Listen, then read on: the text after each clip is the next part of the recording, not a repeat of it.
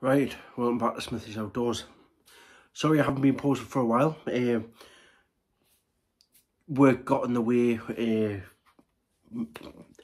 me girlfriend moved in and bits and bobs. But anyway, I'm back. Hopefully I can wangle the bane with YouTube videos and camping. So basically, I've uh, what I've done is I bought myself a knife. Um, I'm going to put my old one away well not my old one away but gonna put that to one side. Um, and I've bought myself a Casström number 10 forest knife Scandinavian grind. Um, I've just literally bought this um, last week. There was a problem with Casström itself. Um, the website is down at the minute but you can still buy items off the store. Obviously, you've got to be 18 and over to buy a knife. Um, and a guy from Sweden rang us to say we need identification, i.e. passport, driving licence, um, anything with ID on to, to for your age, proof, proof of age. So I was sitting thinking the other day, um, what other knives could I buy? And I've been looking at the Casström for a long time um, compared to the TBS Boar. Uh, I never got to hold a TBS Boar to be fair. I ended up holding a Casström in my local gun shop in Newcastle. For all you I don't know, I'm from South Shields, based in Newcastle. Um, so yeah, I held this knife, knife a few months back. Uh, and I it felt so so light in my hand that I just needed it. Well, well, yeah, I needed it. Um, so I'll, I'll show you the the knife. I'm just getting the specifications up because obviously it's gonna be an um well it'll be an unboxing because I've just literally bought it. So yeah. So you got a choice in the price I paid for this was 125 pound. Um, it goes up in price from 125 to 165 to 170 I think. Basically I got the low budget one. Um it's just the money I had at the minute I'm struggling but yeah. So that's the knife. Um 125 pound. You do get a certification uh, the warranty of 25 year manufacturer's warranty. Um and you just can't fault it. This is the, the first bushcraft knife, second bushcraft knife I bought and it, it's come with a warranty. Um, leather sheath, it's just unbelievable how well it's made. Drip hole for, for water. But yeah, um, you get to choose on the, the belt, the the sheath, do you want it left hand or right hand? I'm right-handed, so I went with a right-handed sheath so I can stick it on the right side of me me body. Basically um you can have it left side right side. But I didn't know at the time of buying this knife they do a Kydex sheath for 65 pound. Um so you kind of have it as a dangler. I'm gonna modify this but a D-loop and make my own dangler of a bit of leather. I don't have a dangler to show you but you might get the gist. So basically I got this knife in oak. You can get it in splattered, um, splattered beech, um, and uh, is it Kydex sheath, Kydex handle, uh, other bits and bobs. I've got, I'm, I'm loaded of gold.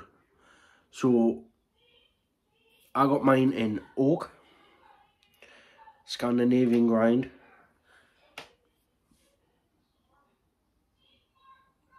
I really love it. It's it's the curvature of the handle to fit the palm is out of this world. It sits so comfortably in your hand. Uh, razor sharp from factory.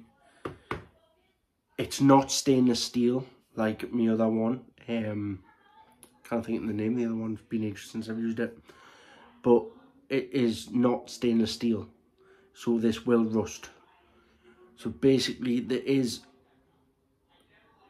a, um, a material you can use to keep it from not rusting once you've used it. Um, it's got black lining in and I'll go through the specifications. Um, it does, I think it does state in the um, the man, well, the certification that I can keep oiling the handle, but you don't want to oil the handle loads because it will will become slippy, and when you're using it, you don't want to be cutting yourself through the blade. So I'll just get the specifications up. Sorry, I can't really say it, but you know. Um, then we'll go through what the spec, you know what I mean. Right. So I have to keep looking on my iPad because I can't really see it off by heart. So it's Scandinavian grind, not secondary bevel.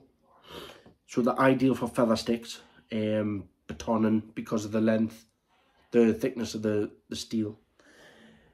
Handle is a oiled oak from suitable forestry, sustainable, sorry, forestry.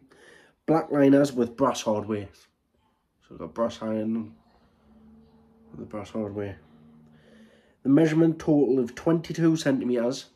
That'll be from the tip to the, the butt of the knife.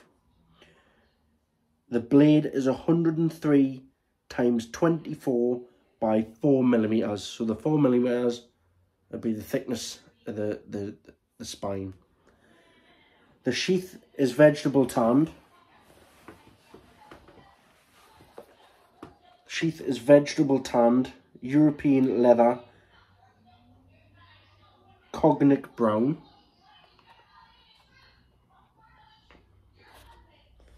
Steel is Uddeholm slimline non-stainless 5960 HRC.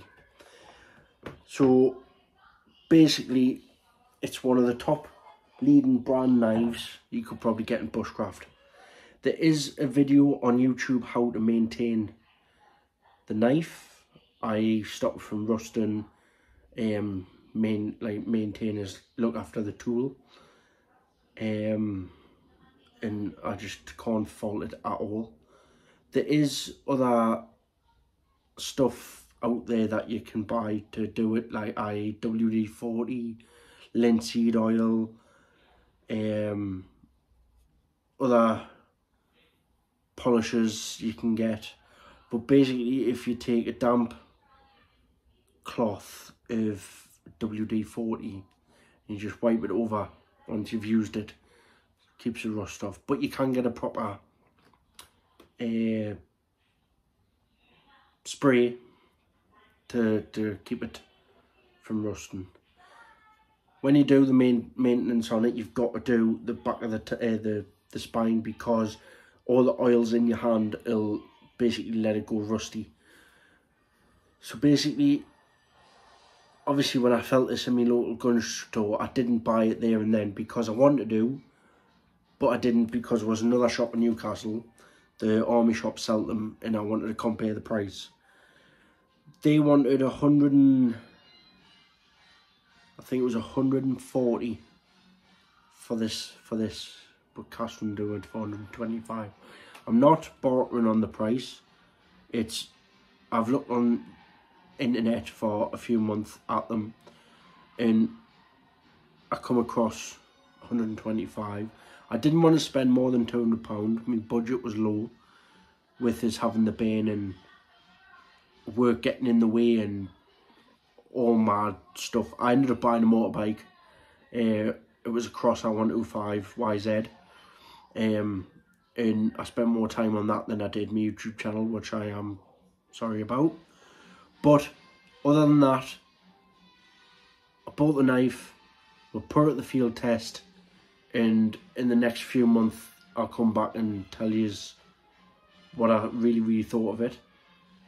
Um, and also, I'll, I'll put out there that the editing software I use is up, updated itself. So the last the last um, video I put up saying stay with us, we're coming back, uh, it had mucked up or something. So obviously I'm gonna have to sit down and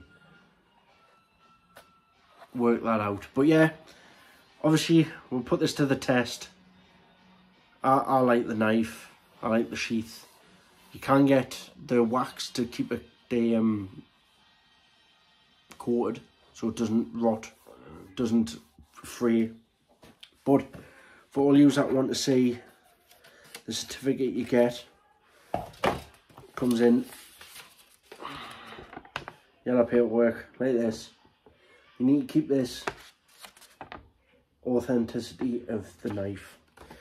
It says you get 25 year warranty from purchase and any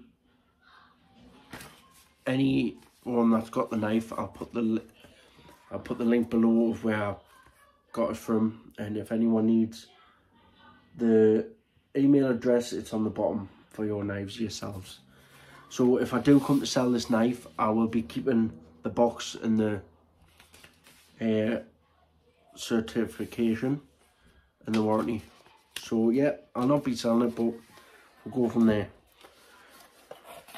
I did say we're meant to be going camping in the next few months round Rothbury. I don't think that'll be happening with um with me having the pain. So at the minute I'm gonna have to put that on hold.